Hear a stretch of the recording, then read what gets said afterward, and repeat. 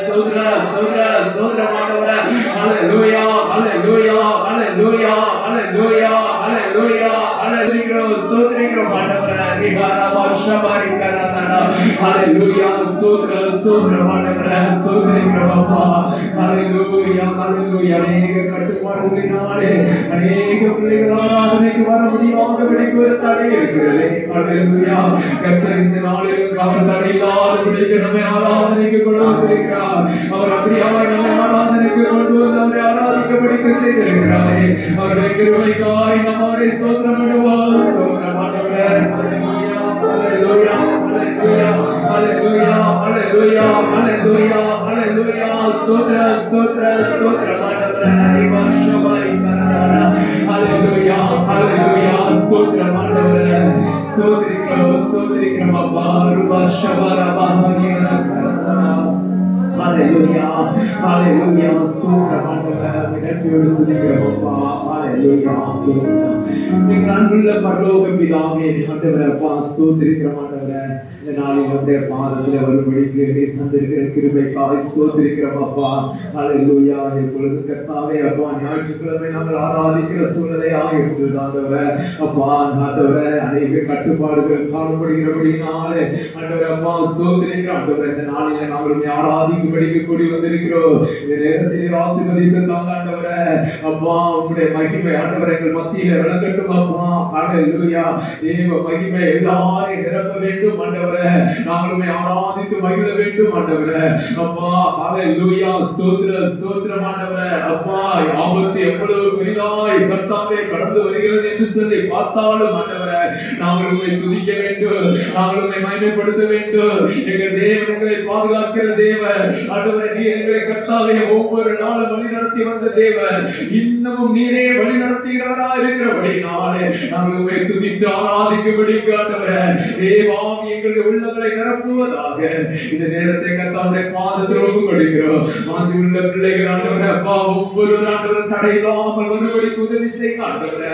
அப்பா ஹalleluya எங்களை கர்த்தாவே இந்த செட்டைகளுக்குள்ளாக மூடி மறைத்து பாதுகாத்துக் கொள்கிறாங்க இந்த நேரத்தில் தாழ்ந்து அர்ப்பணிக்கிறோம் ஆண்டவரே ஒவ்வொரு பகுதியை ஆசீர்வதித்து தாரும் வந்திருக்கிற பிள்ளைகளுக்கு ஸ்தோத்திரம் ஒரு ஆசீர்வதிப்பீராக இந்த கர்த்தாவே வாஞ்சியுள்ள பிள்ளைகள் எல்லாரையும் கொண்டு வரும். துதி கன மகிமை எல்லாவற்றையும் உமக்கே செலுத்துகிறோம் இயேசு கிறிஸ்துவின் மூலம் ஜெபிக்கிறோம் ஜீவனுள்ள நல்ல பிதாவே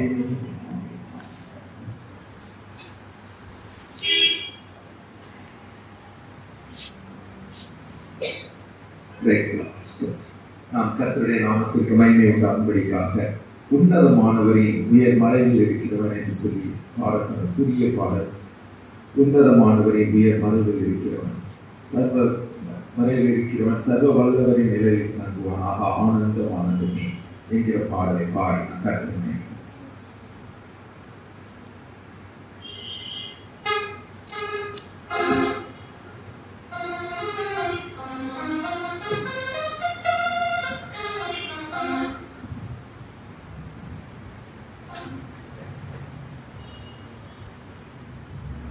கரங்களை தட்டி நாம் ஆண்டவருடைய ஆண்டவர் நம்மை பாதுகாக்கிற தேவனாய் அவர் நமக்கு இருக்கிறபடி நாளை நாம் கரங்களை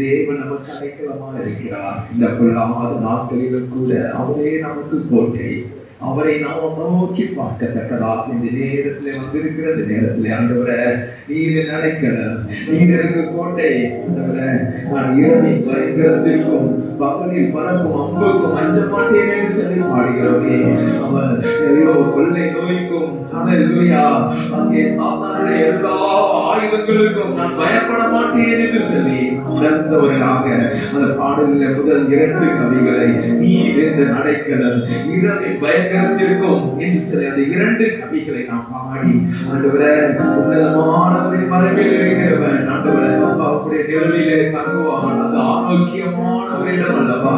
அப்படிப்பட்ட இடத்திலே நாங்கள் வாழும்படிப்பா இந்த நாளிலே உண்மையே நோக்கி பார்க்கிறோம் என்று சொல்லி இந்த இரண்டு கவிகளை பாடி நாம் கத்திர மகிமைப்படுத்தலாமா.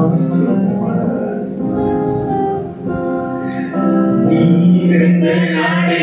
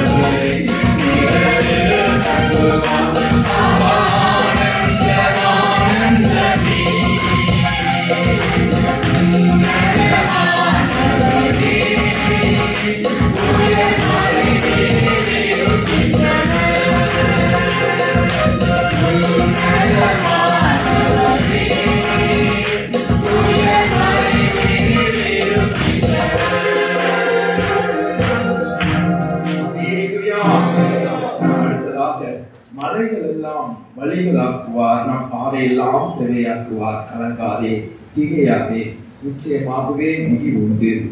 தேவன் நம்முடைய எல்லா சூழ்நிலைகளிலும் அவர் நம்மை வழிநடத்த வல்லவரால் இருக்கிறார். தடைகளை உடைப்பார். அவர் வில்லை உடைப்பார் ஈட்டியை முறிப்பார். நரங்களை அக்னியினால் சுட்டெரிப்பார். நமக்கு விரோதமாய் வருகிற எல்லா வல்லமைகளிலிருந்து அவர் பாதுகாக்க பாதுகாக்கிற தேவன். நமக்கு திறந்த வாசலை தருகிற தேவன். ஆபரகாமின் தேவன் இசாக்கின் தேவன். என்று சொல்லி அந்த பாடலை நான் பாடி நான் கத்தரை மகிமைப்படுத்தும்படிக்காக எல்லாரும் அதை விசுவாசத்தோடு கூட பாட வேண்டும். தேவன் அப்படி செய்வார். அவருடைய தீர்க்கதரிசன வசனங்கள் அதை செய்ய வல்லமை உள்ள தேவன் உண்டு. அதை நாம் உணர்ந்தவர்களாய் அதை நாம் பாடி நாம் கத்தரை.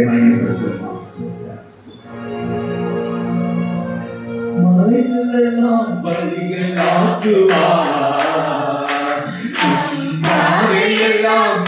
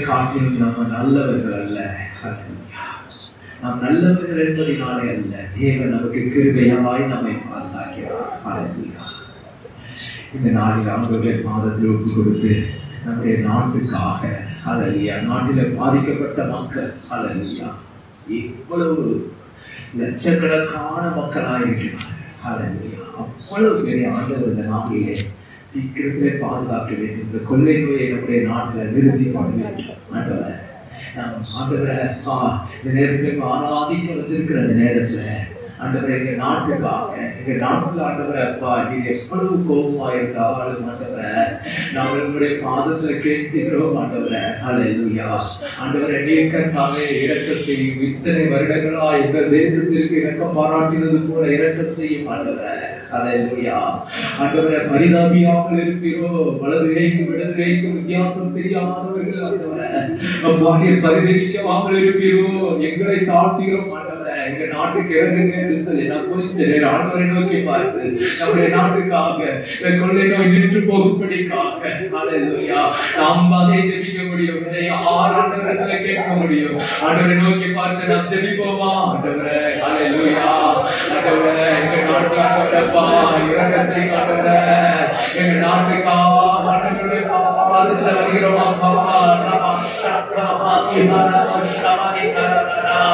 அப்பா நம சக்கரமா திஹரம ஷமரி கரதரா கொள்ளை நோய் எதிர்த்து ஆண்டவரே லட்சக்கணக்கான மக்கள் ஆண்டவரை பாதிக்கப்பட்டு ஆஸ்பத்திரியில் இருக்கிறார்களா ஹalleluya ஆயிரக்கணக்கான மக்கள் ஒவ்வொரு நாளும் மறிக்கிறார்கள் ஆண்டவரே இந்த கொள்ளை நோயை நிறுத்த மாட்டீரோ ஆண்டவரே நாங்கள் ஆண்டவா நாங்கள் ஜெபிக்காமல் போய்விட்டோம் எங்கள் நாட்டுக்காக நாங்கள் ஜெபிக்காமல் போய்விட்டோம்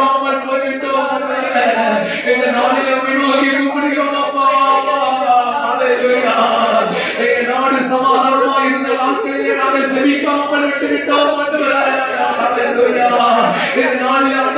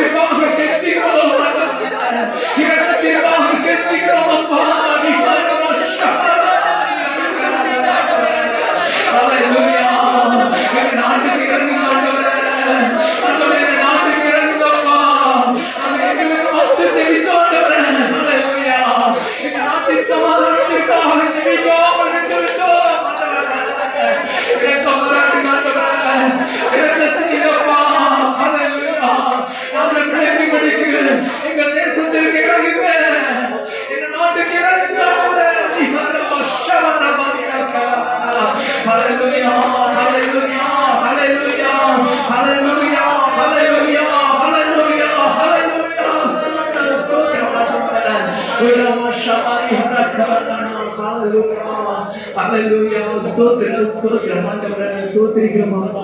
Hallelujah, hallelujah. நம்முடைய வீட்டுக்காரர்கள் எல்லாரையும் நம்முடைய குடும்பத்தில் இருக்கிற ஒவ்வொரு நம்முடைய விசுவாச குடும்பங்கள் இருக்கிற பிள்ளைகள் ஹalleluya அவருடைய ஊழியக்காரர்கள் அவருடைய நாமத்தில் தரிக்கப்பட்ட எல்லாரையும் ஹalleluya தேவ சமூகத்துல இந்த நேரத்தில் ஒப்பு கொடுத்தாண்டவரே உங்களுடைய பிள்ளைகளை பாதுகாத்துக் கொள்ளுங்க எங்க வீட்டுல இருக்கிற ஒவ்வொருவரையும் பாதுகாத்துக் கொள்ளுங்க ஆண்டவரே ஒருவருக்கு கூட பாதிப்பில்லாத படிக்க பாதுகாக்க வேண்டும் ஆண்டவரே.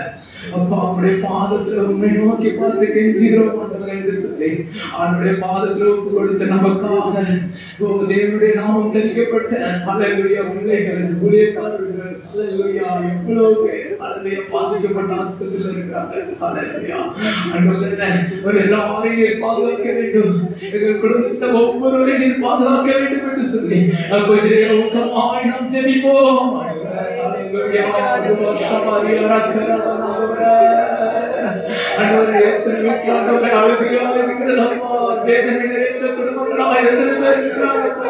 உங்களுடைய நாமம் தெரிவிக்கப்பட்ட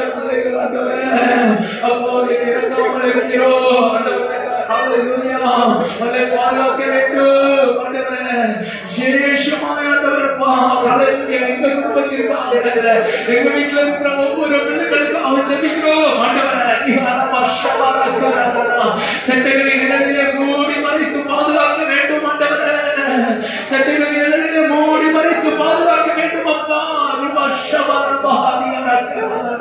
ஹalleluya ஹalleluya ஹalleluya ஹalleluya ஸ்தோத்திரம் ஆண்டவரே ஸ்தோத்திரம் ஸ்தோத்திரம் அப்பா உரபா ஷஹாரி ஹலக்கரதனா ஹalleluya ஹalleluya ஹalleluya ஸ்தோத்திரம் ஆண்டவரே ஸ்தோத்திரம் அப்பா ஸ்தோத்திரம் ஸ்தோத்திரம் ஆண்டவரே ஹalleluya ஹalleluya ஸ்தோத்திரிக்கிற தேவனுடைய வாக்குத்தத்தங்கள் உண்டு ஹalleluya இந்த வாக்குத்தத்தத்தை நாம் பற்றி கொண்டவர்கள் அப்பா நாங்கள் யாரை நம்புவது ஒருவரே எங்களுக்கு சகாயம் செய்கிறதே.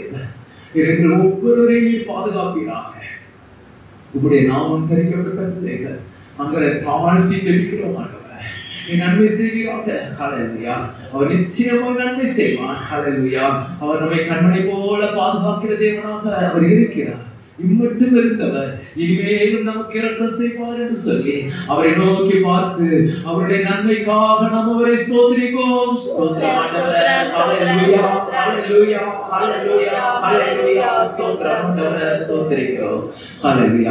எவ்வளவாய் பெறுகிறது என்று சொல்லி பார்க்கிறோம். அதற்கு ஏற்ப நம்முடைய ஜபங்கள் அதிகமாய் மாறுவதாக. நம்முடைய வீட்டில் நிறைய அநேக நேரங்களாய் ஆண்டவருடைய பாதத்தில் கண்ணீர் நம்முடைய தேசத்திற்காக நம்முடைய குடும்பத்திற்காக அவருடைய நாமம் தெரிவிக்கப்பட்ட பிள்ளைகள் ஒவ்வொருவருக்காக. ஹalleluya கத்த நம்முடைய ஜபத்தை கேட்டு நன்மை செய்வார். போன வருஷத்துல ஹalleluya உலகத்தில் எவ்வளவோ பாதிப்புகள் இருக்கும் பொழுது ஆண்டவர் சீக்கிரமாய் நம்முடைய நாட்டில் பிரச்சனை நிறுத்தி இன்றைக்கு அது மகா பெரிய அணையாய் வருகிறது என்று சொல்லி காணப்பட்டார்கள். ஆண்டவர் அதை நிறுத்தி போட வல்லவராக இருக்கிறார். அவர் நம்ம ஜெபத்தை கேட்பார். எனவே நாம் ஒவ்வொரு நாளும் அவருடைய பாதத்தில் நாம் போராடி ஜெபிப்போமாக. கர்த்தர் நம் ஒவ்வொருவரையும் ஆசீர்வதிப்பாராக. லேலுயா. யாராவது ஒருவர் சத்தத்தை வைத்து ஜெபிப்போம்.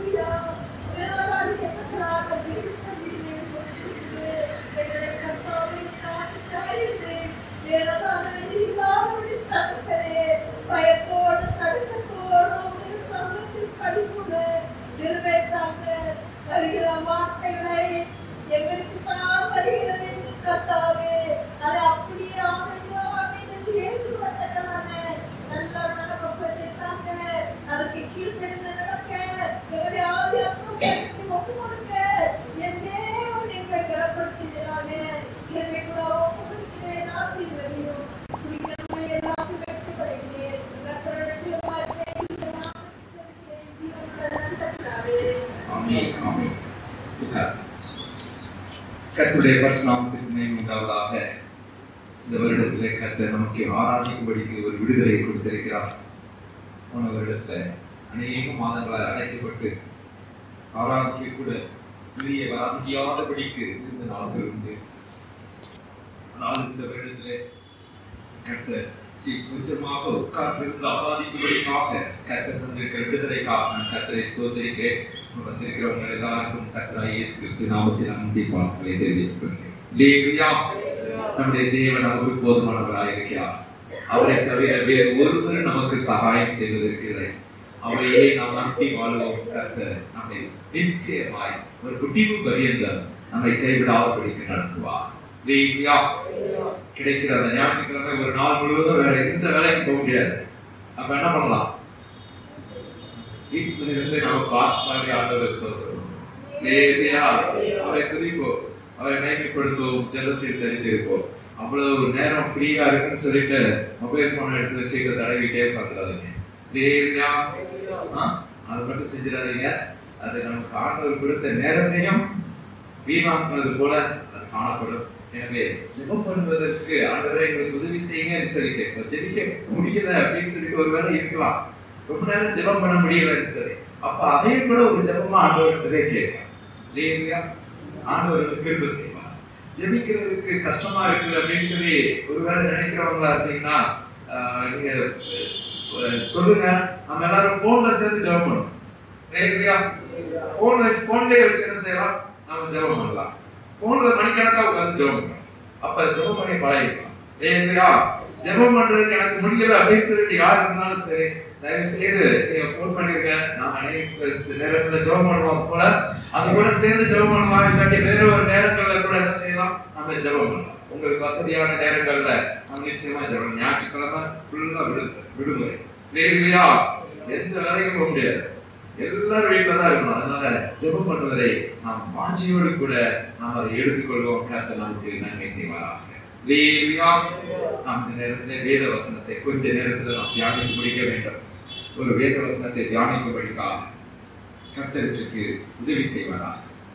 ரோமருக்கு எழுதிய நிருபம் பதிமூன்றாவது அதிகாரம் பதினோராவது வசனத்துல ஒரு அருமையான காரியம் சொல்லப்பட்டிருக்கிறது.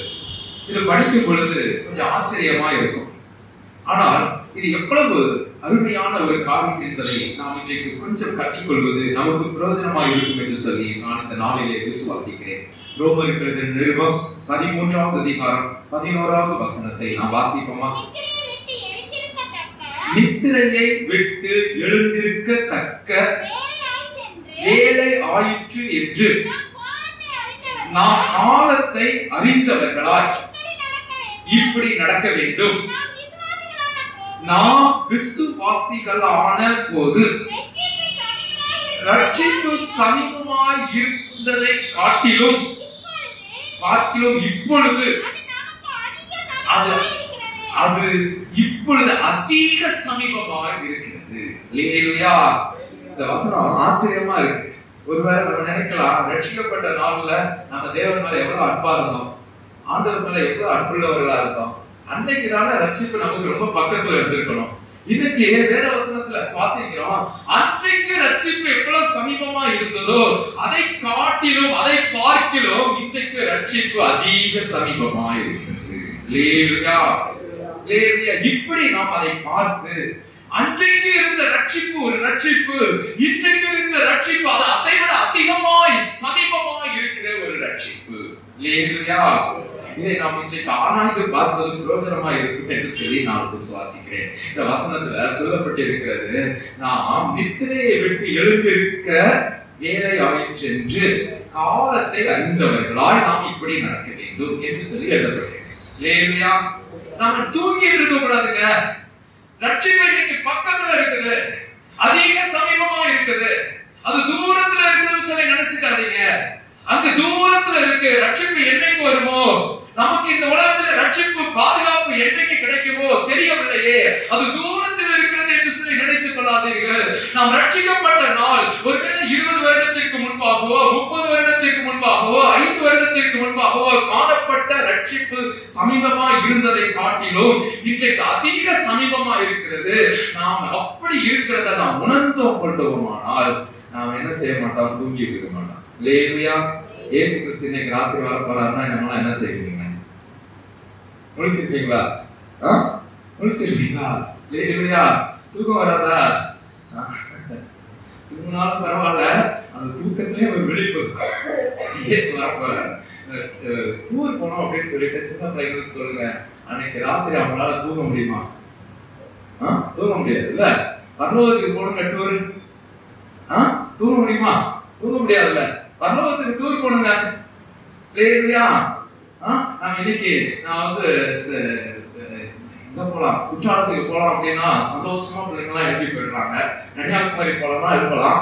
திருவனந்தபுரம் போனோம்னா ஐயோ திருவனந்தபுரம் போக விடாம விட்டுட்டீங்களே அப்படின்னு சொல்லி கூட ச- கவலைப்படுற பிள்ளைங்களாம் இல்லையா அப்படிலாம் இருக்கும் பொழுது நம்ம அலோகத்துக்கு போகும் பொழுது தூங்கிட்டு இருக்கலாமா? தூங்கக்கூடாது இல்லையா? ரட்சிப்பு இப்ப எவ்வளவு தூரத்துல இருக்கு? அதிக சமீபமா இருக்கு. ரட்சிக்கப்பட்ட நாளை காட்டிலும் இன்றைக்கு ரட்சிப்பு அதிக சமீபமா இருக்கிறது என்று சொல்லி இங்கே பவுல போஸ்டர் ரோமர்கள் நிருபத்திலே எழுதி இருக்கிறதை நாம் வாசித்தோம். இப்படி காலத்தை அறிந்தவர்களாய். நேரம் புரியுதா? நேரத்தை தெரியுதா? சீக்கிரம் வருது அப்படிங்கிறது தெரியுதா? லேவியா ரட்சிப்பு சீக்கிரம் வருதுங்கிறது தெரியுதா? காலத்தை அறிந்தவர்களாய். ஏதோ இன்றைக்கு காலத்தை புரியாதது போல அவர் வருவது ஏதோ நாள் கடந்து போகும். என்றைக்கு வருவார் என்று சொல்லி எனக்கு தெரியாதது போல இருக்கிறதே. அவர் அப்படி அல்ல அவர் சீக்கிரமாய் வருகிறார். என்ற காலத்தை உணர்ந்தவர்களாக நாம் இப்படி நடக்க வேண்டும். அதற்கு முன்பாக அநேக வசனங்கள் எழுதியிருக்கிறது. அது எப்படி நடக்க வேண்டும் என்று சொல்லி. நாம் இன்றைக்கு அதை குறித்து நாம் தியானிக்க இருக்குல்ல நம்ம வந்து ரட்சிப்பு சீக்கிரமா இருக்கு. இல்லையா ரட்சிப்பு எங்க எவ்வளவு தூரத்துல இருக்கு? சீக்கிரமா இருக்கு. எத்தனையோ ரட்சிப்புகளை குறித்து வேதத்திலே வாசிக்கிறோம். ஒரு சில ரட்சிப்புகளை குறித்து நாம் வாசித்து பார்க்கலாமா? சங்கீத புஸ்தகம் பதினெட்டாவது சங்கீதம் மூன்றாவது வசனத்திலே ஒரு ரட்சிப்பை குறித்து சொல்லப்பட்டிருக்கிறது. சங்கீதம் பதினெட்டு மூன்று. வாசிப்போமா? துதிக்கு பாத்திரராகி துதிக்கு பாத்திரராகிய கர்த்தரை நோக்கி கூப்பிடுவேன். அதனால் என் சத்துருக்களுக்கு நீங்களாக்கி ரட்சிக்கப்படுவேன். ரட்சிக்கப்படுவேன் லேலியா இது ஒரு ரட்சிப்பு. என்ன ரட்சிப்புங்க? சத்ருவுக்கு நீங்களாக்கி ரட்சிக்கப்படுதல். இந்த வசனம் வந்து நல்லா புரிஞ்சுக்கணும். சத்ருவுக்கு நீங்களாகி ரட்சிக்கப்படணும் அப்படின்னா நம்ம செய்ய வேண்டிய வேலை துதி. இல்லையா தேவனை துதிச்சோம் அப்படின்னா சத்ருவுக்கு நீங்களாக்கி ரட்சிக்கப்படுவோம். ஆனா ஒரு காரியம் இந்த ரட்சிப்புல உணர்ந்து கொள்ளணும். இந்த ரட்சிப்பு ஒரு சத்துருடத்துல இருந்து விடுதலை இன்னொரு சத்துரு வரும் இந்த சத்து இந்த ரட்சிப்பு வந்து நிலைத்து இருக்கிற ரட்சிப்பு இல்ல. இந்த ரட்சிப்பு எப்படிப்பட்டது இல்ல நிலைச்சிருது இது ஆயிரம் ஆயிரம் வருடமா இருக்கும் இந்த ரட்சிப்பு. அப்படின்னு சொல்லி இந்த ரட்சிப்பு கிடையாது. ஆனா இது ஒரு ரட்சிப்பு. யார்கிட்ட இந்த ரட்சிப்பு? சத்துருடத்துல இருந்து. சத்துரு நமக்கு விரோதமா வர்றவங்களை குறித்து அந்த இடத்துல நாம் புலம்பிட்டு இருக்க கூடாது அந்த சத்துரு வெள்ள போல வருகிற நேரத்துல நம்முடைய சத்தம் துதியின் வார்த்தைகளாய் அது எழுத வேண்டும். ஐயோ சத்ரு வரானே சத்ரு வரானே என்று சொல்றதுக்கு பதிலா எப்படி சொல்லணும்? துதி துதி சத்தம். இதுதான் பைபிள்ல நம்ம அநேக இடங்கள்ல வாசிக்கிறது. அங்கே யோசப் அந்த ராஜாவின் நாட்களில சத்ரு அங்கே பயங்கரமாய் வந்த சத்ருவை பார்த்து பயந்து விட்டான். ஆனால் யுத்தத்துக்கு போகும் பொழுது பாட்டு பாடுறவங்க முதல்ல போனாங்க. யார் போனா? பாட்டு பாடுறவங்க ஆசாரியர்கள். அவர்கள் பாடுவதை பாடிக்கொண்டு முன்னால போனாங்க லேலுயா அவர் துதிக்க தொடங்கின பொழுதே தேவன் அங்கே யுத்தத்தை முடித்தே விட்டார். லேலுயா சத்துருக்கள் வரும் பொழுது நாம் ரட்சிக்கப்பட வேண்டுமானால் என்ன செய்யணும்? துதிக்க லேலுயா இன்னொரு ரட்சிப்பை குறித்து நாம் அநேக ரட்சிப்புகள் பைபிள்ல வாசிக்கலாம். நாம் இன்னொரு ரட்சிப்பை குறித்து நாம் வாசிக்கிறோமா? லூக்கா எட்டாவது அதிகாரம் ஐம்பதாவது வசனம் வாசிப்போமா? லூக்கா எட்டு ஐம்பது. இயேசு அதை கேட்டு இயேசு அதை கேட்டு பயப்படாதே. பயப்படாதே. விசுவாசம் உள்ளவனாயிரு அப்பொழுது அவள் ரட்சிக்கப்படுவாள் அவள். ரட்சிக்கப்படுவாள். லேலுயா இந்த இது வந்து ஒரு அந்த ஒரு மனிதனுடைய. மகள் மரித்து போற நிலைமையில இருக்கும்போது அவர் இயேசுவை தேடி வந்தாரு. இயேசு வந்து இந்த விசு- நான் வரேன் வீட்டுக்கு வந்து ஜெபம் பண்ணி வீட்டுக்கு வந்து நான் சுகமாக்கி விடுறேன் அப்படின்னு சொல்லி சொன்னாரு. அப்படி வீட்டுக்கு திரும்பி வந்துட்டு இருக்கும் போது அவருக்கு நியூஸ் வருது. என்ன நியூஸ் மகள் மரிச்சு போயிட்டா இனிமே அவரை போய் தொந்தரவு பண்ண வேண்டாம் அப்படின்னு சொல்லி. அப்பொழுதுதான் அவர் சொல்றாரு நீ விசுவாசம் உள்ளவனா இரு. அவன் ரட்சிக்கப்பட்டார் ரட்சிக்கப்படுவார். என்ன ரட்சிப்பு? மரணத்திலிருந்து உயிரோட வந்துடலாம். அப்படி ஒரு ரட்சிப்பு. ஆனா இந்த ரட்சிப்பு நிரந்தரமான ரட்சிப்பு. அல்லேலூயா மரணத்துல இருந்து உயிரோட வந்தா இன்னைக்கு வரை உயிரோடவா இருக்காங்க. திரும்பவும் மறிச்சு லாசர் மரணத்திலிருந்து உயிரோட வந்தா லாசர் இன்னைக்கு வரைய உயிரோட இருக்கிறாரு? இல்ல. இல்லையா இதெல்லாம் நிரந்தரம் இல்லாத ஒரு ரட்சிப்பு. வியாதியில இருந்து ரட்சிப்பு. என்று சொல்லி பல பல பல ரட்சிப்புகளை குறித்து நாம் வேதத்திலே வாசிக்கலாம். இல்லையா ஆனால் இந்த ரட்சிப்புகள் எல்லாம் நிரந்தரமான ரட்சிப்பு அல்ல. இது நிரந்தரமான ரட்சிப்பு அல்ல. இது அன்னன்னைக்கு வரும் போகும் திரும்ப வரும். போகும் திரும்ப வரும். லேலுயா. இப்படிப்பட்ட ரட்சிப்புகள். லேவியா கத்த க- கஷ்ட காலங்கள் வரும் கஷ்ட காலம் போகும். இப்படி ரட்சிப்பு என்று சொல்லி பாதுகாப்பு நம்முடைய தேவன் ஆனாலும் அந்த எல்லா சூழ்நிலைகளையும் நம்மை பாதுகாத்துக் கொண்டே போகிறார். லேலுயா. ஆனால் நரகத்திலிருந்து ரட்சிக்கிற ஒரு ரட்சிப்பு இருக்கிறது. அதை குறித்து தான் நாம் இன்றைக்கு அந்த ரட்சிப்பு இன்றைக்கு அதிக சமீபமாயிருக்கு. என்ன ரட்சிப்புங்க? நரகத்திலிருந்து ரட்சிக்கப்படுறது. லேலுயா நரகத்துக்கு போகிறது இல்ல நரகத்திலிருந்து ரட்சிப்பு பாதுகாப்பு உண்டாவது. நரகத்திற்கு போக மாட்டோம் என்று சொல்லி காணப்படுகிற அந்த ரட்சிப்பு அதை குறித்து நாம் வாசிக்கும் பொழுது மார்க் பதினாறாவது அதிகாரம் பதினாறாவது வசனத்துல வாசிக்கிறோம் பாருங்க மார்க் பதினாறு பதினாறு வாசிப்போமா? விசுவாசம் உள்ளவனாகி, ஞானஸ்நானம் பெற்றவன். ரட்சிக்கப்படுவான். விசுவாசியாதவனும் விசுவாசியாதவனோ ஆக்கினைக்குள்ளாக தீர்க்கப்படுவான் விசுவாசம் உள்ளவனாகி ஞானஸ்நானம் பெற்றவன் ரட்சிக்கப்படுவான். இது பேர் தான் ரட்சி லேலுயா நீங்க ரட்சிக்கப்பட்டிருக்கிறீங்களா? அப்படின்னு சொல்லி கேட்டா இந்த ரட்சிப்பை பற்றி தான் கேட்கும். மற்ற ரட்சிப்புகள் எல்லாம் துதியின் சத்தத்தினால் உண்டாகிறது. அவரை விசுவாசிக்கிறதுனாலே உண்டாகிறது. துதியும் ஒரு விசுவாசத்தினாலும் விசுவா எல்லா எல்லா விசுவாசத்தினால் விசுவாசத்தினாலும் கிடைக்கிறது. ஆனால் இந்த ரட்சிப்பு அது ஆக்கினை இல்லாதபடிக்கு கிடைக்கிற ரட்சிப்பு லேவியா. ஆக்கினை இல்லை நரக ஆக்கினை கிடையாது. இந்த ரட்சிப்புக்கு என்னது இல்ல? நரக ஆக்கினை இல்லை. ஆக்கினை இல்லாத ஒரு ரட்சிப்பு. இந்த ரட்சிப்பை குறித்து தான் நாம் இன்றைக்கு பார்க்கிற இந்த ரட்சிப்பு நாம் விசுவாசிகளான போது எவ்வளவு பக்கத்துல இருந்ததோ இன்றைக்கு அது அதிக சமீபமா இருக்கிறது. அன்றைக்கு இருந்த பக்கத்துல இருந்ததை காட்டிலும் இன்றைக்கு அதிக சமீபமா இருக்கிறது. அநேக நம்ம நினைப்போம் உண்மையில அப்படி இல்லை. நான் ரட்சிக்கப்பட்ட அன்னைக்கு நான் ஆண்டவர் பக்கத்துல எவ்வளவு பக்கத்துல இருக்கேன். இன்னைக்கு ரொம்ப தூரத்துல இருக்கனே அப்படின்னு சொல்லி நம்ம நினைப்போம். ஆனா வேத வசனம் வந்து அப்படி சொல்லல. வேத வசனம் மாத்தி சொல்லுது. என்ன சொல்லுது? ரட்சிப்பு அதிக சமீபமா இருக்கிறது. லேலுயா அது நமக்கு இன்னும் பக்கத்தில் இருக்கிறது என்று சொல்லி சொல்லப்படும் விசுவாசம் உள்ளவனாகி ஞானஸ்நானம் பெற்றவன் ரட்சிக்கப்படுவான். லேலுயா விசுவாசியாதவனோ ஆக்கினைக்குள்ளாக தீர்க்கப்படுவான். அதே மார்க் பதிமூன்றாவது அதிகாரம் பதிமூன்றாவது வசனத்தை வாசிக்கலாமா? என் நாமத்தின் நிமித்தம் எல்லாராலும் பகைக்கப்படுவீர்கள். முடிவு பரியந்தம் நிலைத்திருக்கிறவனே ரட்சிக்கப்படுவான் இந்த ரட்சிப்பு கடைசி வரை காத்திருந்து பெற்றுக் கொள்கிற ரட்சிப்பு இன்னைக்கு இல்ல. இன்னைக்கு கிடைக்கிற ரட்சிப்பு இல்ல. இன்னைக்கு நமக்கு இருக்கிற கஷ்டத்துல இருந்து வெளி விடுதலை ஆகிற ரட்சிப்பு இல்ல.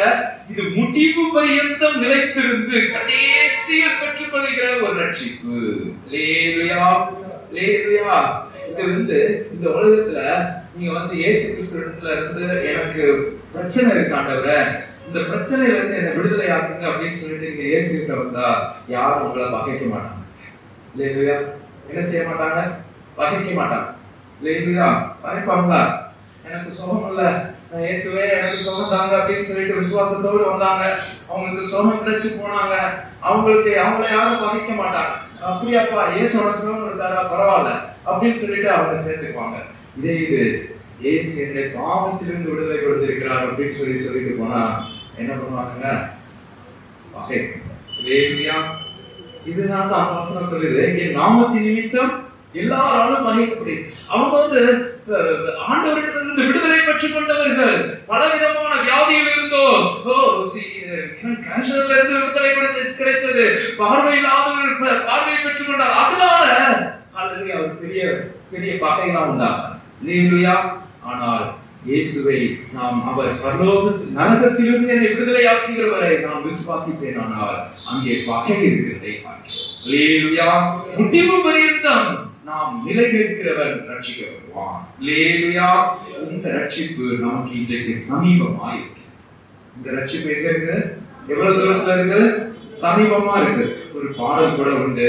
மேகம் நீங்கள் இயேசுராது வேகம் பாராதி அந்த பாடலை கூட பாடி அதுல சீக்கிரம் வராரு அப்படின்னு சொல்லிட்டு அதுல எழுதிருக்கு இல்ல அந்த பாட்டுல. அதை பாடுவோமா? நீ மேக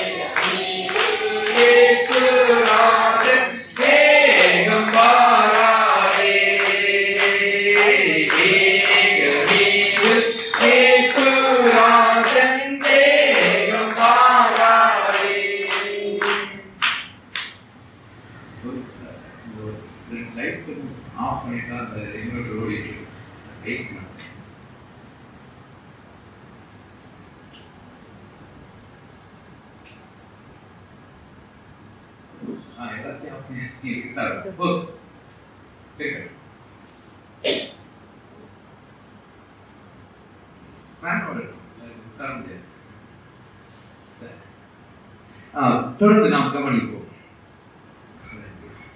இந்த நாளிலே நாம் அவர் நிச்சயமாய் அவர் வருவார்.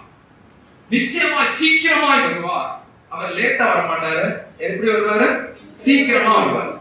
அப்படின்னு சொல்லிட்டு நாம் வேதத்திலே வாசிக்கிறோம். இந்த நாளிலே நாம் அவர் சீக்கிரமாய் அந்த ரட்சிப்பு நமக்கு அதிக சீக்கிரமா இருக்கிறது என்று சொல்லி ஒரு மூன்று கருத்துக்களை மாத்திரம் ஒரு குறிப்புகளை மாத்திரம் வேகமாய் பார்த்து நாம் முடிக்க போறோம் கொஞ்ச நேரம் தான் இருக்குது அதுக்குள்ள நான் மூன்று குறிப்புகளை நாம் பார்க்கிறோம் லேலுயா இந்த மூன்று குறிப்புகளை நாம் வேகமாய் பார்த்து முடிப்பதற்கு கர்த்தர் நமக்கு உதவி செய்வதாக முதலாவதாக காலம் சமீபமா இருக்கிறது. காலம் சமீபம் நேரம் சீக்கிரம் ஆயிடுச்சு ரெண்டாயிரம் வருஷத்துக்கு முன்னால இயேசு கிறிஸ்து சொல்லும்போது என்ன சொன்னார்? சீக்கிரமா வருகிறேன்னு சொல்லி சொன்னார். இல்லையா அப்ப இன்னைக்கு அது வந்து எவ்வளவு சீக்கிரமா ஆயிடுச்சு ரொம்ப சீக்கிரம் ஆயிடுச்சு இல்லையா ரெண்டாயிரம் வருஷம் குறைஞ்சு போச்சு.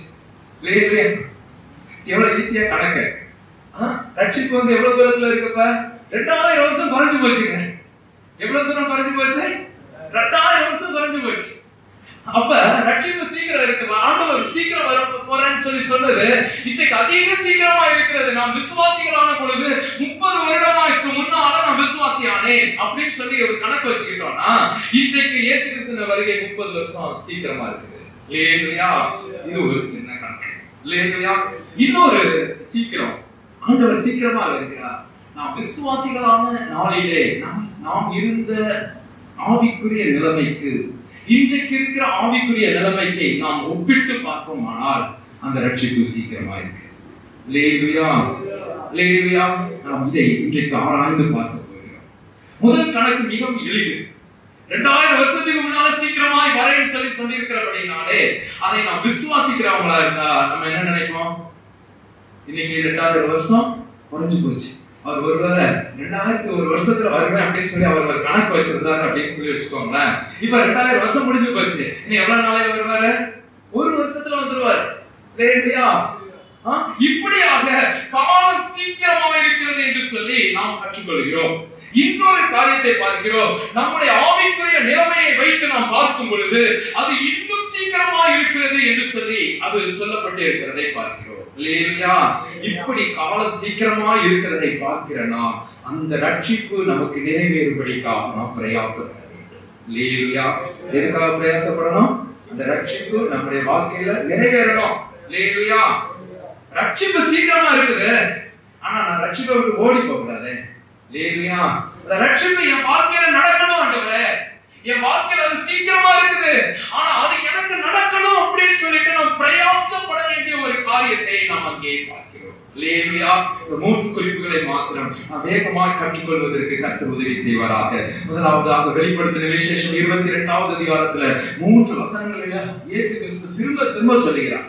வெளிப்படுத்தின விசேஷம் இருபத்தி ரெண்டு பைபிள்ல கடைசி பக்கம். கடைசி பக்கத்துல மூணு தடவை நான் சீக்கிரமாய் வருகிறேன் சீக்கிரமாய் வருகிறேன் சீக்கிரமாய் வருகிறேன் என்று சொல்லி சொல்லி இருக்கிறதை நாம் வாசிக்கிறோம். ஏழாவது வசனம் வாசிப்போமா? இதோ சீக்கிரமாய் வருகிறேன். இந்த ஆ. வசனங்களை இந்த வசனங்களை கை கொள்ளுகிறவன் பாக்கியவான். இந்த இந்த காரியம் தான் நமக்கு சொல்லப்பட்டிருக்கிறது. சீக்கிரமாய் வருகிறார். காலம் நிறைவேறுகிறது. இத பொல்லாத நிகழ்ச்சிகளை நாம் பார்க்கும் பொழுது அவருடைய இந்த காலம் நிறைவேறுகிறது என்பதை நாம் நிச்சயமாய் அறிந்து கொள்வோமாக. இயேசு கிறிஸ்து பிரசங்கம் பண்ண ஆரம்பிச்ச முதல் பிரசங்கமே காலம் நிறைவேறிச்சு எப்படி பிரசங்கம் பண்ண ஆரம்பிச்சாரு? காலம் நிறைவேறிச்சு அப்புறம் இன்னைக்கு காலம் வந்து முடிய போகுது. இல்லையா? காலம் முடிய போகுது ரட்சிப்பு சீக்கிரமா இருக்குது. தேவன் பரலோக நரக ஆக்கினையிலிருந்து நம்மை விடுதலையாக்கி பரலோகத்திலே கொண்டு போய் வைக்கிற காரியம் சீக்கிரமா இருக்கிறது. லேவியா அவர் மூன்று முறை சொல்லியிருக்கிறாருன்னு அந்த கடைசி பக்கத்துல மட்டும். கடைசி பக்கத்துல மட்டும் மூணு தடவை வாசிக்கும் இதோ சீக்கிரமாய் வருகிறேன் அடுத்த வசனத்தை வாசிக்கலாமா? பன்னிரெண்டாவது வசனம். அதோ சீக்கிரமாய் வருகிறேன். அவனுடைய கிரியையின்படி அவனவனுக்கு நான் அளிக்கும் பலன் என்னோட கூட வருகிறது. அது சீக்கிரமாய் வருகிறார். லேட்டாக்க போறதில்லை அவர் லேட்டாக்க போறதில்லை. லேலுயா லேலுயா நான் நிறைய நேரத்துல நினைப்பேன்? தூர தேசத்துல தகப்பன் வேலை செஞ்சுட்டு இருக்கிறான்னு வச்சுக்கோங்களேன். அதுக்குள்ள பிள்ளைகிட்ட போன்ல பேசுறாரு. நான் சீக்கிரம் வந்துடுறேன்ப்பா அப்படின்னு சொல்லிட்டு பையன்கிட்ட சொல்றான்னு வச்சுக்கோங்களேன். எவ்வளவு சீக்கிரத்துல வருவாரு? அவருக்கு என்னைக்கு லீவ் கிடைக்குமோ அன்னைக்கு. இல்லையா என்னைக்கு லீவ் கிடைச்சோம் அதுக்கப்புறம் அவர் என்ன செய்ய போறதில்ல? இன்னொரு நாள் கழிச்சு வரும் அப்படின்னு சொல்லி காலம் தாழ்த்த போவதில்லை. லேலுயா அவர் சீக்கிரமாய் வரப்போகிறார் லேலுயா அந்த நேரம் நிறைவேறும் பொழுது அவர் நிச்சயமா இந்த பூமியிலே இருப்பார் லேலுயா நாம் அதை உணர்ந்து கொண்டவர்களாக சீக்கிரமாய் வருவார். அவர் வரும் பொழுது நம்முடைய கிரியைகளுக்கெல்லாம் அவர் பலன் கூட கொண்டு வருவார். இல்லையா நம்ம வந்து நிறைய நேரத்தில் நினைப்போம் அவங்க செஞ்ச தீமைக்கு பதில் நம்மளும் தீமை செய்யணும் அப்படின்னு சொல்லி. லேலுயா நம்ம கிரியைகளுக்கு ஏற்ற பலன் யார் எங்க இருந்து வருது. இருந்து வருது லேலுயா நம்ம தீமைக்கும் நன்மை செஞ்சா பல பரலோகத்துல இருந்து வர பலன் அதுக்கு ஏற்ற பலன். தீமைக்கு தீமை செஞ்சா அதுக்கும் சிலர்லாம் நன்மைக்கு கூட தீமை செய்யறவங்க இருக்காங்க. நன்மை செஞ்சா கூட பதிலுக்கு தீமை செய்யறவங்க. அது எவ்வளவு பயங்கரமா இருக்குது. அவருடைய கிரியைகளுக்கு ஏற்ற பலன் அவரோடு கூட வருகிறது. அந்த ரட்சிப்பை நாம் பெற வேண்டுமானால் அந்த ரட்சிப்பு நிறைவேறுவதற்கு இன்றைக்கு பிரயாசப்பட வேண்டும். அந்த ரட்சிப்பு நிறைவேறுவதற்காக பிரயாசப்பட வேண்டும். அது சீக்கிரமா இருக்கிறது இப்படி நாம் அந்த அதிகாரத்திலே மூன்று தடவை நாம் வாசிக்கிறோம். நேரம் பல சுருக்கலா சுருக்கமா இருக்கிறதுனால இத வந்து எபிரேயர் வாக்கியம் கூட பத்தாவது அதிகாரம் முப்பத்தி ஏழாவது வசனத்துல அவர் சொல்ல எபிரேயர் பத்து முப்பத்தி ஏழு வாசிப்போமா வருகிறவர் இன்னும் கொஞ்ச காலத்தில் வருவார். தாமதம் பண்ணார். அவர் தாமதிக்கிறான்னு சொல்லி நினைக்கிறீங்களா? ஒருவேளை கொஞ்சம் யோசித்து பாருங்க இன்னைக்கு அவர் வந்தாருன்னா அந்த ரட்சிப்பு நமக்கு நிறைவேறுமா நிறைவேறாதா லேலுயா ஆண்டவர் அதுக்காக தான் பேதுரு. நிருபத்துல அப்படி சொல்லியிருக்கிறார். நிருபத்துல என்ன சொல்லியிருக்கிறாரு? தாமதிக்கிறதுக்கு ஒரு காரணம் இருக்கு. என்ன காரணம்? நம்ம வந்து படைச்சிருக்கணும் படைக்கணுமே ஐயோ இன்னும் கொஞ்சம் நாள் கொடுத்தா இந்த பிள்ளை சரியாயிடும் இந்த மகன் சரியாயிடுவான். இந்த மகன் சரியாயிடுவான். அப்படின்னு சொல்லிட்டு அவர் அதுக்கு தான் பொறுமையா இருக்கிறார். இல்லையா? நம்ம பூரணப்பட்டோம் அப்படின்னா ஒரு நாளும் பூரணப்பட்டதுக்கு அப்புறம் இன்னொரு நாள் இந்த பூமியில இருக்க மாட்டோம்னு தான் நான் விசுவாசிப்பேன். இல்லையா? பூரணப்பட்டுட்டோம்னா அடுத்த நாள் இந்த பூமியில இருப்போமா? ஆ? பூரணப்பட்டுட்டோம்னா உடனே போயிடும்? அவர் நிச்சயமா உடனே எடுத்துக்குவார். இன்னொரு நாள் அந்த பூமியை பார்த்துட்டு இருக்கிறதுக்கு வைக்க போறதில்லை இயேசு கிறிஸ்து சிலுவையில் அறையப்படுவது அவருக்கு பூரணமாக்கும்படிக்காக. அவரை பூரணமாக்கும்படிக்காக அப்படின்னு சொல்லி பைபிள்ல வாசிக்கிறோம். அதே எபிரேயருக்கு இரண்டாவது அதிகாரத்துல தான் நினைக்கிறேன். அங்கே அவர் இயேசு கிறிஸ்து பூரணர் ஆகும்படிக்கு அவருக்கு அப்படிப்பட்ட ஒரு பாதையை பிதாவானவர் அவருக்கு என்று சொல்லி நியமித்தார். அவர் சிலுவையில் அறையப்பட்ட உடனே மூன்றாவது நாள்ல பரலோகத்துக்கு போறதுக்கு எல்லாம் ரெடி ஆயிடுச்சு போச்சு லேலுயா. அப்படியே நாம் இந்த நாளிலே பூரணம் ஆகும்படிக்காக தான் நம்ம இந்த உலகத்துல இன்னைக்கு இருக்கோம்.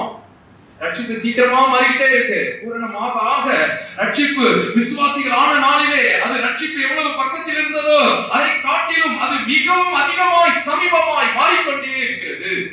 லேலுயா நாம் அந்த ரட்சிப்பை பெறும்படிக்காக இந்த ரட்சிப்பு நிறைவேறும்படிக்கு நாம் பிரயாசப்படுவோமாக. லேலுயா லேலுயா.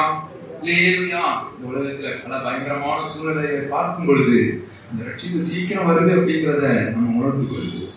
லேலுயா ரட்சிப்பு தூரத்துல இருந்தா சீக்கிரமா இருக்கா? எவ்வளவு பக்கத்துல இருக்குன்னு சொல்லிட்டு நீங்க தெரியப்பட மாட்டேங்குது. நீங்க தேவனுடைய பிள்ளைங்க போயிட்டாங்க லேலுயா ரட்சிப்பு சீக்கிரமா இருக்கிறது. எனவே நாம் இன்றைக்கு அந்த ரட்சிப்பு நம்முடைய வாழ்க்கையில நிறைவே சொல்லி அதற்கான கிரியைகள் அதற்கான பிரயாசத்தை நாம் படுவோமாக. லேலுயா கர்த்தர் நமக்கு நன்மை செய்வாராக.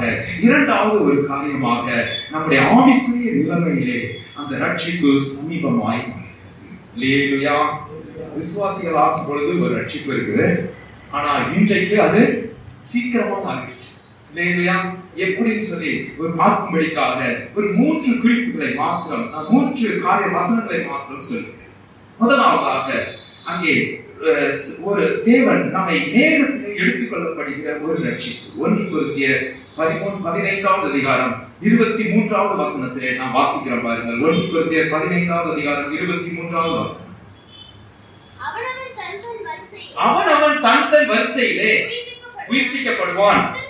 முதற் பலனானவர் கிறிஸ்து. பின்பு அவர் வருகையில் அவருடைய அவருடையவர்கள் உயிர்ப்பிக்கப்படுவார்கள் அந்த வசனம் அதே அதிகாரத்துல பின்னால இருக்கிற வசனங்களை எல்லாம் வாசிக்கும் பொழுது பிரதான தூதனுடைய எக்கால சத்தம் கேட்கிற அந்த நாளிலே ஹalleluya மரித்தோர் உயிருள்ளவர்களாக இருந்திருப்பார்கள் உயிரோடு இருக்கிற நாமோ மறுரூபமாக்கப்படுவோம். மறுரூபமாகிற ஒரு நாள் உண்டு. அது சீக்கிரமா இருக்கிறது அது திருடன் வருகிறது போல நம்ம நேரம் தெரியாத நேரத்துல வந்து அதனால நம்ம என்ன செய்யணும்? தினமும் ஆண்டவருக்கு பாதத்தில் நம்ம ஒப்பு கொடுத்து சொல்லணும். அநேக நேரங்களில் இந்த பொழுதுபோக்கு காரியம் நம்ம பாவத்திற்குள்ளா கண்ணி போட்டு இழுக்கிறது. பொழுதுபோக்க பொழுதுபோக்கு சாதாரண நினைச்சிடாதீங்க. எப்படி ஒரு மீன் தூண்டுல போட்டிருக்கிற ஒரு புழுவை அது வந்து ரொம்ப இங்க சந்தோஷம். அப்பா இப்படிப்பட்ட ஒரு சாப்பாடை யாரு தண்ணிக்கு மேல இப்படி கொடுத்தா? அப்படின்னு சொல்லி சந்தோஷப்பட்டு அது சாப்பிட்டுச்சுன்னா அது நிலைமை என்ன? லேலுயா அது போலதான் இந்த பொழுதுபோக்கு எல்லாமே. லேலுயா பொழுதுபோக்கு எல்லாம் அப்படிதான். நல்லா அனுபவிச்சு பாருங்க. நீங்க பொழுதுபோக்கு காரியத்தை சாதாரணமா இது பொழுதுபோக்கு தானேன்னு சொல்லி செஞ்சு பாருங்க. கொஞ்ச நேரத்துல மாட்டிக்கிட்டு கொஞ்ச நாள்ல நாம ஜெபிக்க முடியாம வேத வாசிக்க முடியாம அதுல விருப்பம் இல்லாம பாவ சிந்தனைகளினாலே ஆட்கொள்ளப்படுவது நிச்சயம். லேலுயா ஏன்னா அதை உண்டாக்குனவன் யாரு? சாதான் அதுக்குள்ள என்ன வச்சிருக்கிறான்? தூண்டில் தான் வச்சிருக்கிறான். இல்லையா நன்றாக புரிந்து கொள்வோமாக. நாம் இப்படிப்பட்ட நாளிலே உயிர்த்தெழுந்து அவரோடு கூட போகிற நாள் அது முதல் நடக்க போகிறது. அது எங்க நடக்க எப்ப நடக்க போகுது? முதல்ல நடக்க போகுது. அது அவருடையவர்கள் அவரோடு கூட உடன்படிக்கை பண்ணினவர்கள் அவர்கள் போகும்படிக்கான ஒரு நாள் அது முதலாவது நடக்கிற நிகழ்ச்சியாய் காணப்படுகிறது. இது ஒரு ரட்சிப்பின் நாள். லேலுயா இது இந்த பூமியிலிருந்து பிழைத்துக் கொள்கிற ஒரு நாள். இது பரலோக ராஜ்யத்திற்கு போகிற ஒரு நாள். லேலுயா இப்படிப்பட்ட ரட்சிப்பு அது முதலாவது நடக்கிற ஒரு ரட்சிப்பா இருக்கிறது லேலுயா இரண்டாவது ரட்சிப்பு இந்த ரட்சிப்புல ஒருவேளை நம்ம போகல அப்படின்னா அந்தி கிறிஸ்துவின் நாட்கள் உண்டு என்ன நாள் இருக்கு? அந்தி கிறிஸ்துவின் நாட்கள் மகா உபத்திரவ நாட்கள்.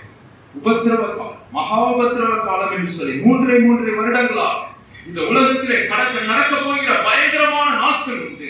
அந்த நாட்களிலே ரத்த சாட்சியார் மறிக்கிறவர்களுக்கு ஒரு ரட்சிப்பு அது இந்த முதல் ரட்சிப்புக்கும் இந்த இரண்டாவது ரட்சிப்புக்கும் இடையில ஏழு வருஷம் இருக்கு. லேவியா எத்தனை வருஷம் இருக்கு? ஏழு வருஷம். முதல் ரட்சிப்புக்கும் இரண்டாவது ரட்சிப்பு முதல்ல உயிரோடு இருந்து போகிறவர்கள் அது ஒரு முதல் ரட்சிப்பு இரண்டாவது ரட்சிப்புக்கு இடையில ஏழு வருடம் அந்தி கிறிஸ்துவினுடைய ஆட்சி அந்த ஏழு வருடத்துல முடிவில நடக்கிற காரியத்தை நாம் வெளிப்படுத்தின விசேஷம் இருபதாவது அதிகாரத்துல நாம் வாசிக்கிறோம். வெளிப்படுத்தின விசேஷம் இருபதாவது அதிகாரம் நான்காவது வசனத்தை வாசிப்போமா? அன்றியும் நான் சிங்காசனங்களை கண்டேன். அவையின் மேல் உட்கார்ந்தார்கள் நியாய தீர்ப்பு கொடுக்கும்படிக்கு அவர்களுக்கு அதிகாரம் கொடுக்கப்பட்டது. இது யார் அப்படின்னா இயேசுவை பற்றிய சாட்சி நிமித்தமும் தேவனுடைய வசனத்தின் நிமித்தமும் தேவனுடைய சிரச்சேதம் பண்ணப்பட்டவர்கள் பண்ணப்பட்ட ரத்த சாட்சியால் மறித்தவர்கள் ஆ, மிருகத்தையாவது, அதை சொருபத்தையாவது வணங்காமல் அந்தி கிறிஸ்துவை வணங்காமலும் அந்தி கிறிஸ்து உண்டாக்கின சொருபத்தை வணங்காமலும் அந்த தங்கள் கைகளிலும் நெற்றியிலும் அந்த அந்தி கிறிஸ்துடைய முத்திரையை தரித்துக் கொள்ளாமலும் இருந்தவர்களை கண்டேன். அவர்கள் உயிர்த்து கிறிஸ்துவுடனே கூட ஆயிரம் வருடம் அரசாண்டார்கள். அந்த அடுத்த வசனத்துல வாசிக்கலாம் அவர்களுக்கு. அவர் மேல இரண்டாவது மரணத்திற்கு அதிகாரம் இல்லை. லேலுயா இது இரண்டாவது ரட்சிப்பு. லேலுயா நம்முடைய ரட்சிப்பு எந்த இடத்துல இருக்குன்னு சொல்லி பாத்துக்கோங்க அது நம்ம ரட்சிப்பு முதல்ல வர ரட்சிப்பா? இரண்டாவது வர ரட்சிப்பா? மூன்றாவது வர ரட்சிப்பு? இருபதாவது அதிகாரம் பதினைந்தாவது வசனத்துல வாசிக்கிறோம். இருபதாவது அதிகாரம் பதினைந்தாவது வசனம். ஜீவ புஸ்தகத்தில். எடுக்கப்பட்டவனாக காணப்படாதவன் எவனோ? அவன் அக்கினி கடலிலே தள்ளப்பட்டான். லேலுயா அது மூன்றாவது ரட்சிப்பு. இதோடு எல்லா ரட்சிப்பும் முடிகிறது. லேலுயா ஜீவ புஸ்தகத்துல பேர் எழுதணும். இயேசு கிறிஸ்துவை விசுவாசிக்கிறவருடைய பெயர் எல்லாம் ஜீவ புஸ்தகத்துல எழுதப்பட்டிருக்கு. லேலுயா இதுதான் ஆண்டவரை விசுவாசிக்கிறதுனால நமக்கு கிடைக்கிற பெரிய நன்மை. இந்த உலகத்துல சம்பளம் நிறைய கிடைச்சதோ கிடைக்கலையோ? பெரிய சுகம் கிடைச்சதோ கிடைக்கலையோ பெரிய நன்மையான காரியங்கள் இந்த பூமியில எனக்கு கிடைச்சது. நான் பெரிய காரியங்களை சாதித்தேனோ சாதிக்கலையோ ஒரு பெரிய நன்மை என்ன அப்படின்னா ஜீவ புஸ்தகத்துல பேர். லேலுயா காசு கொடுத்து வாங்க முடியாத. இயேசு கிறிஸ்துவ விசுவாசத்தை மட்டும் கிடைக்கும். லேலுயா ஜீவ புஸ்தகத்துல பெயர் காணப்படாதவன் எல்லாரும் அக்னி கடலிலே தள்ளப்பட்டார்கள். மற்றவர்கள் எல்லாரும் தான் பல்லவ ராஜ்யத்துக்கு போனான் லேலுயா எனவே மூன்று நன்மையில ரட்சிப்பு இது முதல் ரட்சிப்புக்கு இரண்டாவது ரட்சிப்பு இடையில ஏழு வருஷம். இரண்டாவது ரட்சிப்புக்கு மூன்றாவது ரட்சிப்புக்கு இடையில ஆயிரம் வருஷம். எத்தனை வருஷங்க? ஆயிரம் வருஷம். லேலுயா எனவே நம்முடைய ரட்சிப்பு ஜீவ புஸ்தகத்துல பேர் எழுதப்பட்ட ரட்சிப்பா? ரத்த சாட்சியாக மதிக்கிற ரட்சிப்பா? இல்ல அவரோடு மேகத்துல எடுத்துக் கொள்ளப்படுகிற ரட்சிப்பா? லேலுயா எந்த. ரட்சிப்பு? லேலுயா எந்த ரட்சிப்பு நமக்கு கிடைக்கும்னு நினைக்கிறீங்க? முதலாவது ரட்சிப்பு கிடைக்குமா? லேலுயா முதலாவது ரட்சிப்பு கிடைக்குமா? கண்டிப்பா கிடைக்குமா? அவருடையவர்கள் உயிர்ப்பிக்கப்பட உயிர்ப்பிக்கப்படுவார் லேலுயா நான் அவருக்கு. உடன்படிக்கை பண்ண அந்த உடன்படிக்கைக்கு உண்மையா நம்ம வாழ்ந்தோம் அப்படின்னா நம்ம உயிர்ப்பிக்கப்படுவோம்.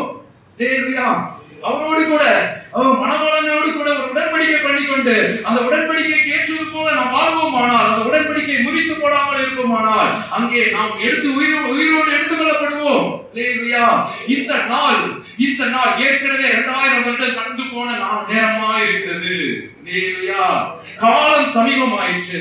இப்பொழுது நாம் முதல் ரட்சிப்புல போவோமா இரண்டாவதுல போவோமா மூணாவதுல போவோமா? ரட்சிக்க விசுவாசிகளான பொழுது நாம மூணாவது ரட்சிப்புல இருந்தோம். இல்லையா விசுவாசிகளான போது எங்க இருந்தோம்? மூணாவது ரட்சிப்புல இருந்தோம். இன்றைக்கு இயேசு கிறிஸ்துவோடு உடன்படிக்கை பண்ணினவர்கள் இப்பொழுது முதல் ரட்சிப்பு வந்திருக்கோம். அப்போ வந்து அந்த ரட்சிப்பு ஆயிரத்தி ஏழு வருஷம் முன்னால வந்திருக்கு. லேலுயா லேலுயா நான் விசுவாசிகளான போது ரட்சிப்பு நமக்கு சம சமீபமா இருந்ததை காட்டிலும் இன்றைக்கு ஆயிரத்தி ஏழு வருடங்கள் அது முன்னால் முன்னால வந்திருக்கு. லேலுயா அப்ப ரட்சிப்பு அதிக சமீபமாய் வந்திருக்கிறது. இந்த பக்கமும் காலம் நெருங்கி கொண்டிருக்கிறது. அந்த பக்கமும் நமக்கு முன்னால வந்திருக்குது லேலுயா அப்ப அதிக சமீபமா வந்திருக்குல. லேலுயா இந்த ரட்சிப்பு நமக்கு நிறைவேறும்படிக்கு நாம் பிரயாசப்பட வேண்டும் இந்த ரட்சிப்பு நிறைவேறதுக்கு நம்ம என்ன செய்யணுங்க? பிரயாசப்படணும். ஆசை இருக்கா? ஆசைக்கேற்ற செயலும் நமக்கு இருக்கணும்ல லேலுயா ஒரு கிளாஸ்ல ஃபர்ஸ்ட் ரேங்க் எடுக்கணும் அப்படின்னு சொல்லிட்டு ஒரு பிள்ளைக்கு ஆசைன்னு வச்சுக்கோங்களேன். ஆசை நல்ல ஆசை தான் ஆனா புக் எடுத்து படிக்கிறதே இல்லை. புக் எடுத்து படிக்கிறதே கிடையாது. ஃபர்ஸ்ட் ரேங்க் வருமா? வரதில்ல. ஆ? வரவே வரதில்ல. கொஞ்சம் அறிவில்லாத பிள்ளை கூட ஃபர்ஸ்ட் ரேங்க் எடுத்துரும். ஏன்னா படிச்சிச்சுன்னா. இல்ல? இது நிறைய அறிவு இருந்தாலும் படிக்கல அப்படின்னா ஃபர்ஸ்ட் ரேங்க் வராதுல்ல. இல்லையா இது போலதான் நம்ம இந்த ரட்சிப்பு நிறைவேற நம்ம என்ன செய்யணும்? பிரயாசம். நான் வாசிப்போமா? துரித்திய துரித்திய இருக்கிறது நிருபம். இரண்டாவது அதிகாரம் பன்னிரெண்டாவது வசனம். ரெண்டு பன்னிரெண்டு.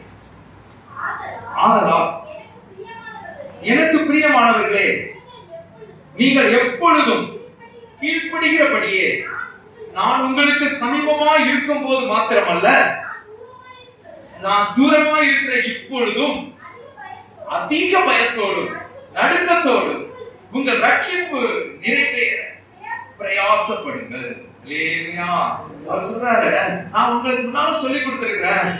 அந்த சொல்லி கொடுத்த வசனத்துக்கு நீங்க கீழ்ப்படுகிறது போல நான் பக்கத்துல இருந்தா மட்டும் இல்ல நான் தூரத்துல இருக்கும் போதும் அந்த ரட்சிப்பு நிறைவேறும்படிக்கு பிரயாசப்படுங்கள். எப்படி பிரயாசப்படணும்? தேவனுடைய வசனத்துக்கு கீழ்ப்படிந்து லேலியா தேவ பயத்தோடு கூட நாம் அவருடைய வசனத்திற்கு கீழ்ப்படிய வேண்டும். லேலியா தேவ பயம் வேண்டும். சொல்லிட்டு முந்தின நாட்கள் என்ன தியானித்தோம் நாம் தேவ பயத்தோடு நாம் அவருடைய வசனத்திற்கு கீழ்ப்படிய வேண்டும். இன்றைக்கு நாம் ஒப்பு கொடுப்போம் நம்ம நான் எனக்கு புரிஞ்ச ஒரு காரியம் என்ன அப்படின்னா தேவனுக்கு பயப்படுகிற பயத்துல இருந்து நம்ம விளக்குறதுக்கு ஒரு முக்கியமான காரணம் அடிப்படையான காரணம். அவரை விசுவாசித்தேன் அவரை ஏற்றுக்கொண்டேன் அவரோடு கூட உடன்படிக்கை பண்ணி இருக்கிறேன் இன்றைக்கு என்னால் அவருக்கு பயப்பட முடியவில்லை அவருக்கு கீழ்ப்படிய முடியவில்லை என்று சொல்லி சொல்வதற்கு ஒரு முக்கியமான அடிப்படை காரணம் பொழுதுபோக்கு. லேலுயா லேலுயா அதுதான் நம்மளை அப்படி இழுத்துட்டு போகுது. லேலுயா நம்ம ரட்சிப்பு நிறைவேற பிரயாசப்படலாமா? ரட்சிப்பு இழந்து போவதற்கு பிரயாசப்படலாம்? இல்லையா இந்த முதல் ரட்சிப்பு. ஒருவேளை மூணாவது ரட்சிப்பு நமக்கு நிச்சயமா இருக்கலாம். இல்லையா அவரை விசுவாசிக்கிறவன் நாட்டினைக்குள்ளாக தீர்க்கப்படான் இல்லையா மூணாவது ரட்சிப்பு ஒருவேளை நிச்சயமா இருக்கலாம். ஆனால் முதல் ரட்சிப்பு நிறைவேறும்படிக்கு நாம் பிரயாசப்பட வேண்டியது அவசியம். இல்லையா முதல் ரட்சிப்பு நிறைவேறுவதற்கு நாம் பிரயாசப்பட வேண்டும். நாம் வாஞ்சிக்க வேண்டும். அதற்காக நாம் செயல்பட வேண்டும். ஏனென்றால் அது முதல் ரேங்க் எடுக்கிறதுக்குரிய வேலை. இல்லையா ஃபர்ஸ்ட் ரேங்க் எடுக்கணுமா? அந்த முதல் செட்டில் நான் வெளியே போகணுமா? முதல் ரட்சிப்பு வர்ற அன்னைக்கே முதல் பரீட்சையிலே பாஸ் ஆகி போகணுமா? அட்டம் பண்ணி அட்டம் பண்ணி எழுதி பாஸ் பண்ணணுமா? இல்லையா மூணு அட்டம் இருக்கு. ஆ, முதல் அட்டம்ப்ட அவர் மேக மேகத்துல அவரோடு கூட எடுத்துக்கொள்ளப்படுகிற மறுரூபமாகுதல் இரண்டாவது அட்டம்ப்ட அர்த்த சாட்சியா மறிச்சா கிடைக்கிற ரட்சிப்பு. மூணாவது அட்டம்ப்ட விசுவாசிகளான இது கிடைக்கிற ஒரு இல்லையா நம்ம எது வேணும்? நாம் இன்றைக்கு ஆட்சியோடு கூட ரட்சிப்பு நிறைவேறும்படிக்காக நாம் பிரயாசப்படுவோமாக. இன்னும் ஒரு சில வசனங்களை மாத்திரம் நாம் வாசித்து நாம் முடிக்க போகிறோம். எவ்ரி அப்போஸ்தலர் இரண்டாவது அதிகாரம் நாற்பத்தி இரண்டாவது வசனத்தை நாம் வாசிக்கலாமா? அப்போஸ்தலர் இரண்டாவது அதிகாரம் நாற்பத்தி இரண்டாவது வசனம் எல்லாருக்கும் ஆ, வயதாயிற்று. இரண்டு நாற்பத்தி ரெண்டு. இது- இந்த வசனம் வந்து எது இப்ப எழுத சொல்லப்பட்டது அப்படின்னா பேதுரு அன்றைக்கு ஞானஸ்நானம் கொடுத்தார். அநேக மக்களுக்கு. மூவாயிரம் மக்கள் ஒரே நாள்ல சபையில சேர்க்கப்பட்டாங்க. அன்றைக்கு அவ்வளவு பேருக்கு ஞானஸ்நானம் கொடுத்திருக்கு. அவங்களுக்கு அவர் சொல்றார். அவங்களுக்கு சொல்லி கொடுத்த காரியத்திற்கு அப்புறம் அவங்க ஞானஸ்நானம் எடுத்தாச்சு. அபிஷேகம் பெற்றாச்சு. தேவனை விசுவாசித்தேன் ஞானஸ்நானம் பெற்றேன் அபிஷேகம் பெற்றிருக்கிறோம் அப்படிப்பட்ட மக்கள் அவர்கள் ரட்சிப்பு நிறைவேறுவதற்கு அவர்கள் பிரயாசப்படுகிற செயல் என்னது என்று சொல்லி இந்த வசனத்திலே வாசிக்கிறோம். அங்கே அவர்கள் அப்போஸ்தலருடைய உபதேசத்திலும் அந்நியோனத்திலும் அப்பம் அப்பம் பிட்குதலிலும் ஜெபம் பண்ணுதலிலும் உறுதியாய் தரித்திருந்தார்கள். லேலுயா லேலுயா. நமக்கு ஆராதனைக்கு வர்றதுக்கு நிறைய நேரம் கஷ்டமா இருக்குது ஜெபத்துக்கு வர்றதுக்கு கஷ்டமா இருக்குது. ஆனா அவங்க ஆதியில விசுவாசிகளானவர்கள் எல்லாரும் அவங்க ரட்சிப்பு நிறைவேறுவதற்கு சீக்கிரத்துல இயேசு வர்றாரு அப்படிங்கிறதுனால அவங்க வந்து செய்து கொண்டிருந்த காரியம் என்ன?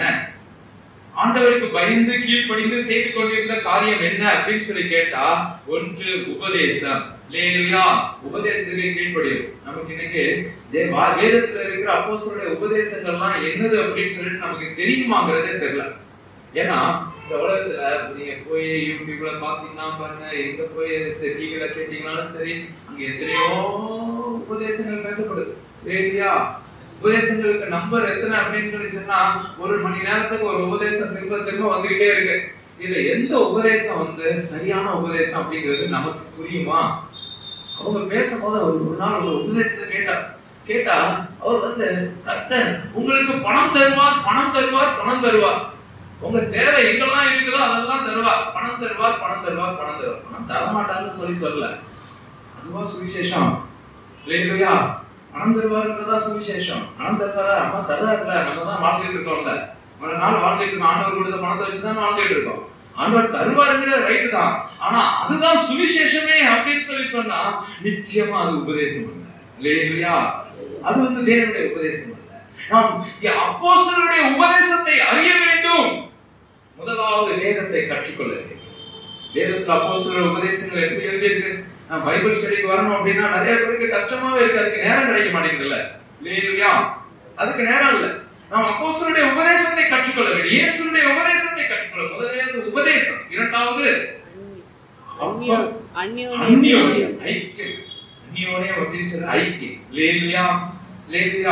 உங்களுக்கு ஜெபம் பண்ணக்கூடிய ஃப்ரெண்ட்ஸ் எத்தனை பேர் உங்களுக்கு இருக்காங்க அப்படின்னு சொல்லி கேட்டா எத்தனை பேர் இருக்காங்க அப்படின்னு சொல்லி சொல்லுவீங்க.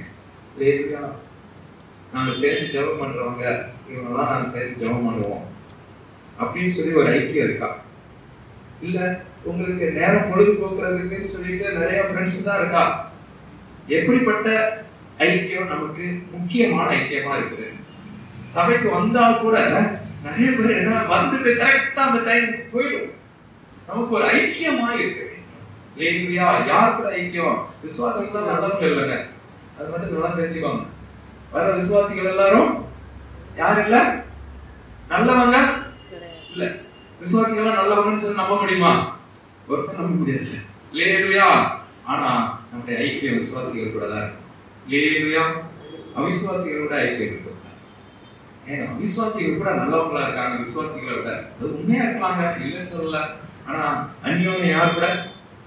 விசுவாசி விசுவாசிகள்.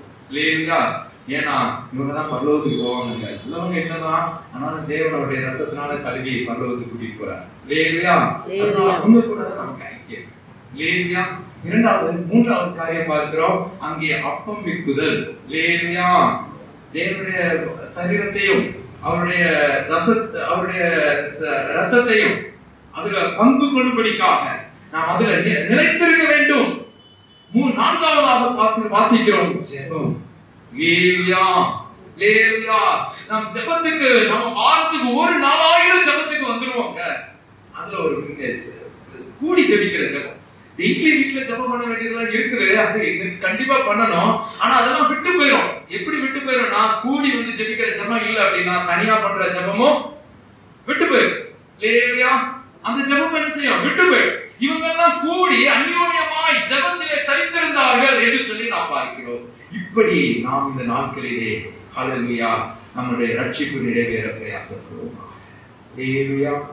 லேலுயா நம்முடைய ரட்சிப்பு நிறைவேறும்படிக்கு இந்த காரியத்துல என்னங்க அப்போஸ்தலருடைய உபதேசம்? அந்யோன்யம் அப்பம் லேலுயா இதுதான் நமக்கு வாழ்க்கைங்க. நம்ம வேலை செய்யற நேரம் போக மற்ற நம்ம வாழ்க்கைக்கு அத்தியாவசியமான காரியங்களை செய்வது போக மீதி நேரங்கள் எல்லாம் இந்த நாளுக்குள்ளவே அடங்கட்டும் லேலுயா இப்படி நம்ம நிலைத்திருந்தோம் அப்படின்னா நம்முடைய ரட்சிப்பு நிச்சயமாய் நிறைவேறும். ஒரே ஒரு வசனத்தை மாத்திரம் வாசித்து நான் முடிக்கலாம் என்று சொல்லி விசு- விசுவாசிக்கிறேன். ரோமர் பதிமூன்றாவது அதிகாரம் எட்டாவது வசனத்திலிருந்து பத்தாவது வசனம் பதிமூணாம் பதினோராவது வசனம் தான் நான் வாசித்தோம். நாம் எட்டாவது வசனத்திலிருந்து பத்தாவது வசனம் வரைக்கும் வாசிக்கிறதுல ஒரு குறிப்பிட்ட வசனத்தை மாத்திரம் வாசித்து நாம் முடிக்கலாம். ஹalleluya. எட்டாவது வசனம் மட்டும் வாசிப்போமா? ஒருவரிடத்தில் ஒருவர் ஒருவரிடத்தில் ஒருவர் அன்பு கூறுகிற கடனை அல்லாமல் மற்றொன்றிலும் ஒருவனுக்கும் பிறனி- பிறனிடத்தில் அன்பு கூறுகிறவன் நியாய பிரமாணத்தை நிறைவேற்றுகிறான். லேலுயா நமக்கு ஒண்ணு மட்டும் தெரிஞ்சுக்கோங்க நமக்கு ஒரு கடன் இருக்கு. லேலுயா என்ன கடன் தெரியுமா? மற்றவங்ககிட்ட அன்பு கூறணும் லேலுயா கடன். என்ன கடன் இருக்கு நமக்கு? அன்பு கூற வேண்டிய கடன் இருக்கு. நீங்க உங்க மனைவிக்கு அன்பா இருக்கிறீங்களா? உங்க கணவன்கிட்ட அன்பா இருக்கிறீங்களா? பிள்ளைங்க உங்க பெற்றோர்கிட்ட அன்பா இருக்கிறீங்களா? இது வந்து கடன் இல்லையா இது வீட்டுக்குள்ள மட்டும் சொல்லிக்காதீங்க எல்லாருக்கிட்டையும் இரண்டிடத்தில் அன்பு புரிகிற கடனே அல்லாமல் வேறு ஒரு கடனை நமக்கு இருக்க விடாது இல்லையா இப்படியாக நாம் நம்முடைய ரட்சிப்பு நிறைவேறும்படிக்காக பிரயாசப்படுவோம். கர்த்தர் நன்றி நன்மை செய்வாராக. ஜெபிக்கலாம். ஸ்தோத்திரம். ஸ்தோத்திரம் ஹalleluya பிள்ளைகளே இந்த நேரத்தில் ஆண்டோடைய பாதத்தில் ஒப்பு கொடுத்து ஹalleluya இந்த பொல்லாத நாட்கள் வருகிறதை பார்க்கிற இந்த நேரத்திலே அந்த வருகைக்கு அந்த பொல்லாத நாட்களுக்காக நாம் தேவனை நோக்கி ஜெபிக்கிற ஜெபத்திற்கு மத்தியிலே ஹalleluya நமக்கு ஒரு எதிர்பார்ப்பு நம்முடைய ரட்சிப்பு சீக்கிரமா இருக்கிறது. ஹalleluya நம்முடைய ரட்சிப்பு சீக்கிரமா இருக்கிறது. ஆண்டவரத்துல நோக்கி பார்த்தாண்டவர ஹalleluya. இந்த ரட்சிப்பு சீக்கிரமா இருக்கிறதப்பா. ஹalleluya. நாம் ரட்சிக்கப்பட்ட நாட்களிலே அது சமீபமா இருந்ததை காட்டிலும் இன்றைக்கு அது அதிக சமீபமா இருக்கிறது. ஹalleluya. அதிக சமீபமா இருக்கிறது. இந்த ரட்சிப்பு நிறைவேறும்படிக்காக அந்த மேகத்தில் எடுத்துக் கொள்ளப்படுகிற நாளிலே ஹalleluya நாம் அந்த ரட்சிப்பு நிறைவேறும்படிக்காக பிரயாசப்படுவோமாக. ரிபா ஷபாரி கரதடா. ஹalleluya அதுதான் முதல் பரிசு. ஹalleluya ரட்சிப்புல முதல் ரட்சிப்பு. ஹalleluya மனிதர்களுக்கு கிடைக்கிற முதல் ரட்சிப்பு. ஹalleluya அது மேகத்திலே எடுத்து நாளிலே நமக்கு கிடைக்கிறது ரிபா ஷபாரி அரக்கரதடா முடிவு பரியதம் நிலை நிற்கிறவனே ரட்சிக்கப்படுவான். ஹalleluya. அதற்காக நாம் பிரயாசப்படும்படிக்கு ஹalleluya. ஓ தேவனுடைய வசனத்தை ஓ பயத்தோடு கைக்கொள்ள வேண்டும். ஹalleluya. தேவனுடைய